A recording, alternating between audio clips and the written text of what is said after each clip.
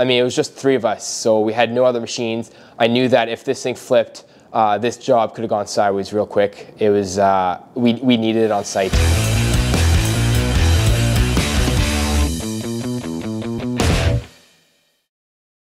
My name is Justin and I own J. Smith Construction.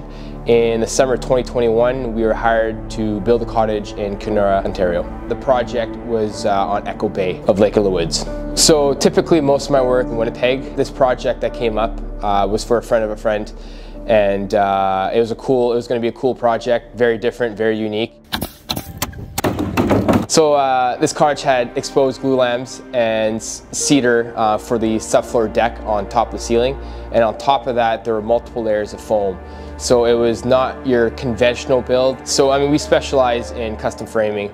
Um, so he knew that I was more than capable of doing the work.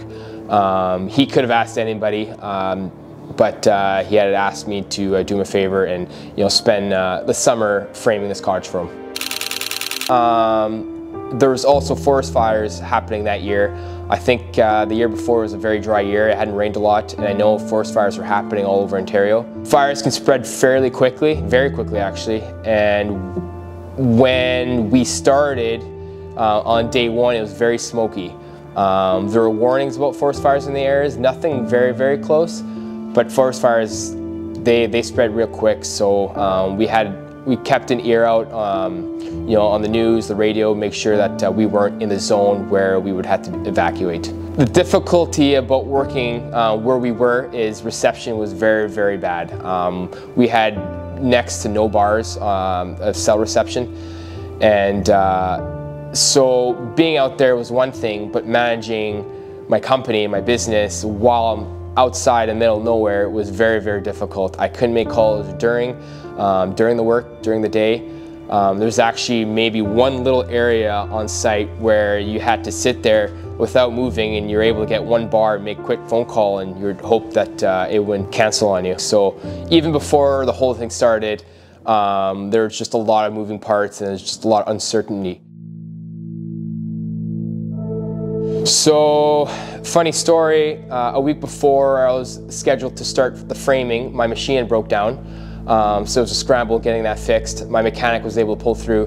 We had to make sure that the boom was going to be delivered on time. Um, that was going to be a necessity because the driveway was so long. I know access was going to be very difficult. It was very narrow. It was uh, windy. Um, half the material had to get dropped off at the front.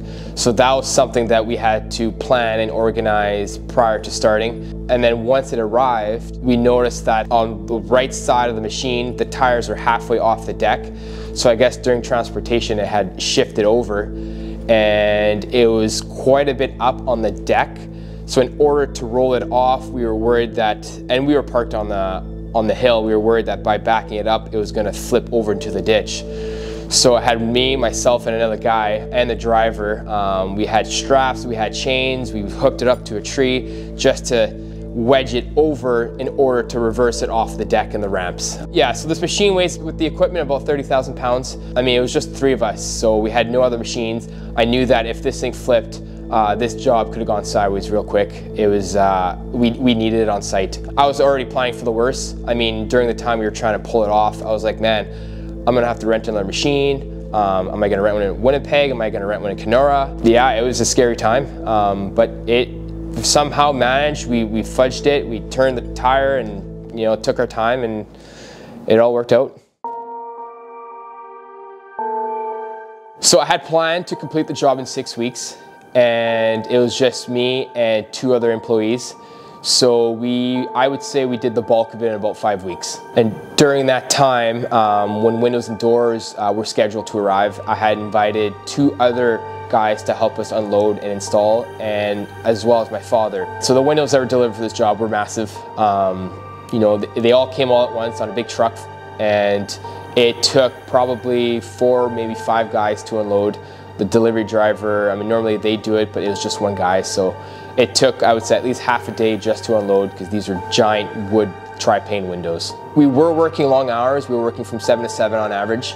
Um, but in order to get this project going um, and completed in time, we, we were working Monday to Friday, Monday to Thursday, 7 to 7, and then Fridays we'd work probably 8 hours. Um, then we'd leave mid-afternoon and be time, um, be home in time for, for dinner. So for the whole project, we were working still five days a week, 12 hour days. And then the days that did rain um, and pour, we, uh, we would just take the day off. So it would, every day we took off, just push the project that much further. And uh, you know, I didn't know if it was gonna affect my other jobs coming up, but we, we pushed through and ended up working 12 hour days just to be able to complete in time. Luckily, this job went uh, relatively well. Nothing is perfect, but it went well. Um, but if things did go sideways, especially when you're working in the middle of nowhere, you're nowhere near a hospital, um, you're short material, you're waiting days, and you're having guys stand around do nothing. Um, so it's very important that we were organized um, from the very beginning. The job had to go smooth. Um, I want to say that every job has to go smooth. Usually they do, but when they don't, it definitely affects your schedule for whatever you got booked after this one job.